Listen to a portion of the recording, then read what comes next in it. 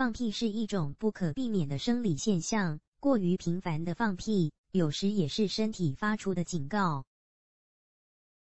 放屁反映健康状况，放屁增多，饮食不均衡，有时放屁过多，与吃了过多的淀粉类食物有关，如市场上出售的甜食、红薯、土豆等。多吃面食的放屁也多，这类食物使肠腔产气过多，导致放屁增多，粪便量加大。此时应当减少淀粉类食物，增加蛋白质、蔬菜类食物。使饮食达到平衡。放屁很臭，吃多了蛋白质食物在众面前放臭屁最不雅。臭屁有两种情况：一是大便吸糖，放出来的屁屎臭味很浓；如果大便排出，屁便终止。从这一点来看，屁是屎头是有道理的。二是屁的臭味特别浓，如同臭鸡蛋一样臭不可闻。这是由于进食过多蛋白质类食物，使肠道发生了食物滞留。滞留的蛋白质食物在消化道内被分解后，产生了胺类，胺就具有这种恶臭味。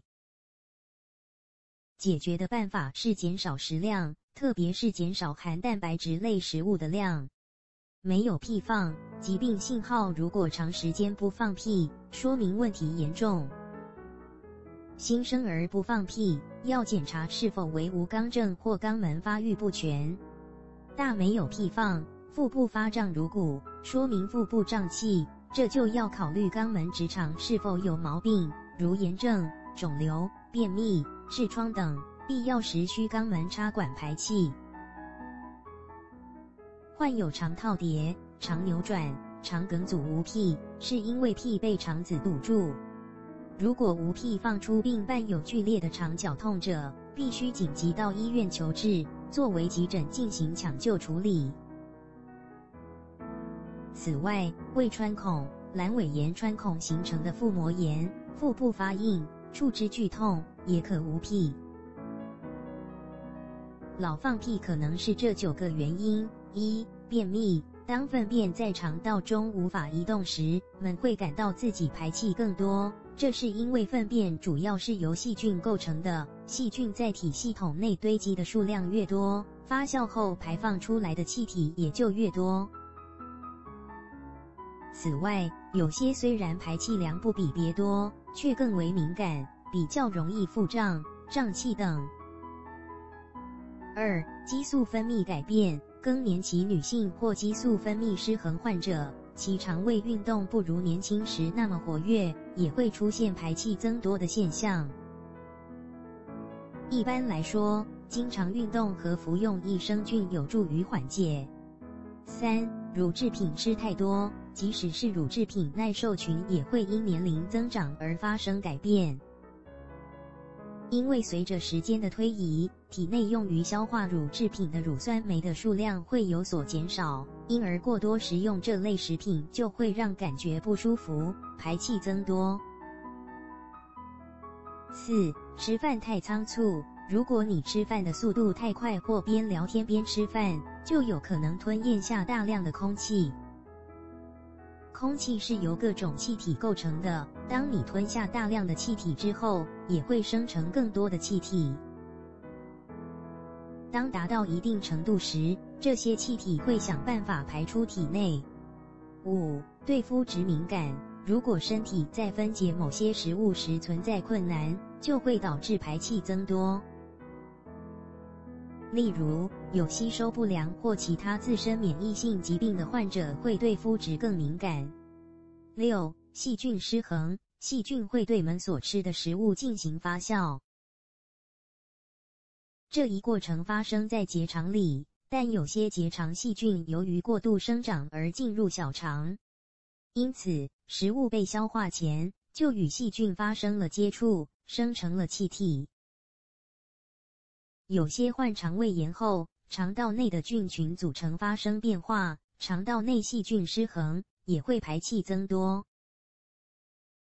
七不经常喝水，当们喝水不足，容易造成便秘的情况。毕竟身体中的代谢物质需要经过分解才能排放出去，喝水刚好能够帮助身体进行分解。过多的杂质在肠道中会让肠道运行出现紊乱，这些废弃物不能彻底的排出，会让人感觉到排气失常。时间一长，这些代谢物会产生细菌，过多的细菌在身体中堆积，会进行发酵。发酵的气体要是过多，容易出现腹胀的症状，进而会出现放屁的情况。八、放屁食物最容易引起放屁的食物有花椰菜、洋葱、大蒜、白菜、麦片、面包、豆子、啤酒、芥蓝、生苹果、鸡蛋、橙子、西红柿、草莓、牛奶、葡萄干、像木桶装白酒以及大部分的水果和蔬菜。因此，素食者放的屁更多，但是味道淡的多。P.S. 能够吸收屁味的东西有木炭片、薄荷和生姜。目前有一种填充了木炭的坐垫，坐在垫子上放屁后，垫子能吸收百分之九十的臭味。九、肌躁性大肠症候群，此症临床上也会有腹痛、腹胀以及放屁等现象产生。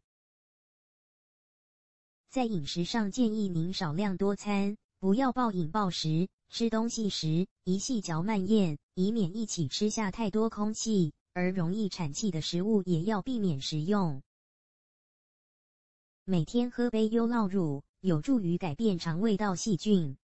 想少放屁，那就看看这几种食物：萝卜，常于顺气健胃，对气郁上火生痰者有清热消痰作用。以青萝卜疗效最佳，红皮白心者次之，胡萝卜无效。最好生吃，如胃有病可做萝卜汤喝。玫瑰花沏茶时放几瓣玫瑰花有顺气功效，没有喝茶习惯者可以单独泡玫瑰花喝，或者将香气扑鼻的玫瑰花插在居室的花瓶里，呼吸进花香也能顺气凝神。莲藕。藕能通气，还能健脾和胃、养心安神，亦属顺气佳品。以水煮服或稀饭煮藕疗效最好。茴香，茴香果实做药用，名小茴香，嫩叶可食用，籽和叶都有顺气作用，用叶做菜馅或炒菜都可顺气、健胃、止痛，对生气造成的胸腹胀满、疼痛有较好疗效。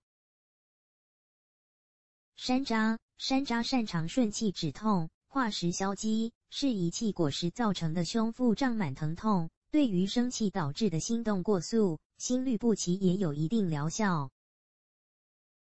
生吃、熟吃、泡水，各种食用法皆有效。青菜能通利肠胃，无论气滞腹胀或食滞腹胀皆宜，缓解胃不舒服。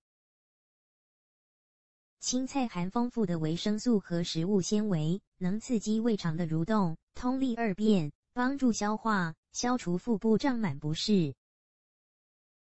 豇豆含多量的食物纤维和维生素，有帮助消化的作用，对食滞腹胀者尤为适宜。四川中药志中记载，豇豆健脾胃、消食、治食积腹胀成都常用草药治疗手册。还介绍治食积腹胀、嗳气，生姜豆适量，细嚼咽下，或捣溶泡冷开水服。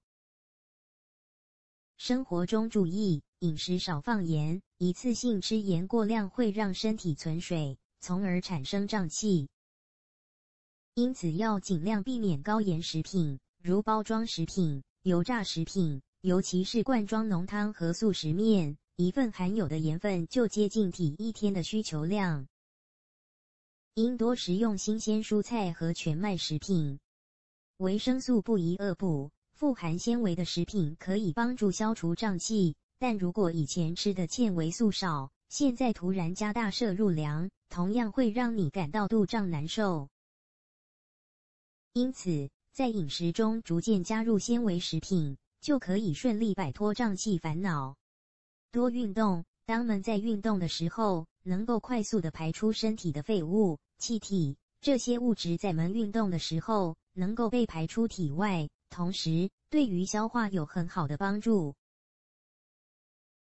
在平时保持一定的运动量，不仅仅能够强身健体，对于预防一些不必要的事情也有帮助。希望大家能够科学合理的进行运动。